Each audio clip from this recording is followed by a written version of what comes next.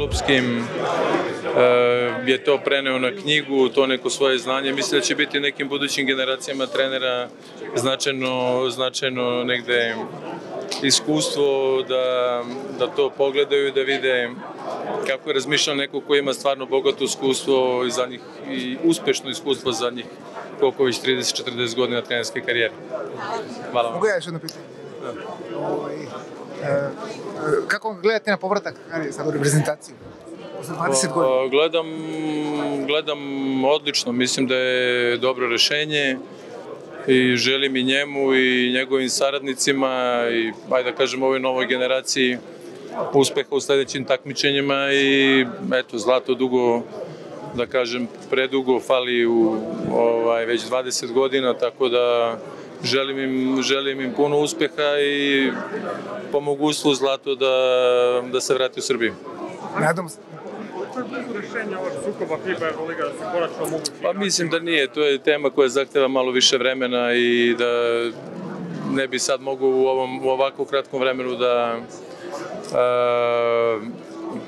da objasni svu tu, da kažem, problematiku, ali da je neophodno rešenje jeste i mislim da za dobrobit košarke da bi to trebalo što pre. Jokića i Luku Dončića, kako prave razliku u NBA-u, to su igrači koji igraju slično kao što ste vi nekad igrali. Da li vam je sada žao što tada niste ne, prikazali? Ne, nije mi žao, kako se zove, ni malo. Ne bi menjao ni jedan zarez u svojoj karijeri.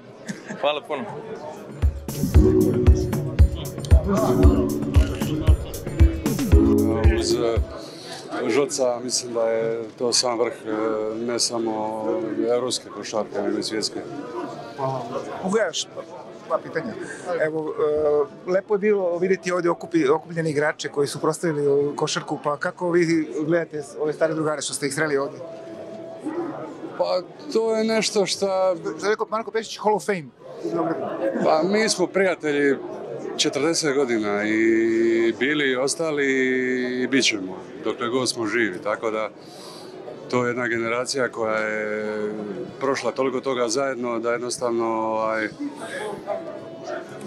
to je nešto, no, ja sam, velika mi je čast što sam bio dio toga. Vlade, vi, Toni, pokojni Dražan ste napravili prvi korak ka NBA-u sa ovih prostora, da kažemo, bili pioniri. Međutim, ono što rade sada Luka i Nikola Jokić, kao da je korak dalje. Kako vi gledate na to i da li vam je drago što su momci sa naših prostora sada počeli da postavljaju standarde tamo u NBA-u i da prave razliku? Pa naravno da mi je drago, to samo pokazuje da je, da je s, ovih, s ovih prostora uvijek talent bija vrhunski i uvijek će ga biti. Samo je pitanje koliko ko želi raditi, to je uvijek, uvijek se sve, sve svodi na to.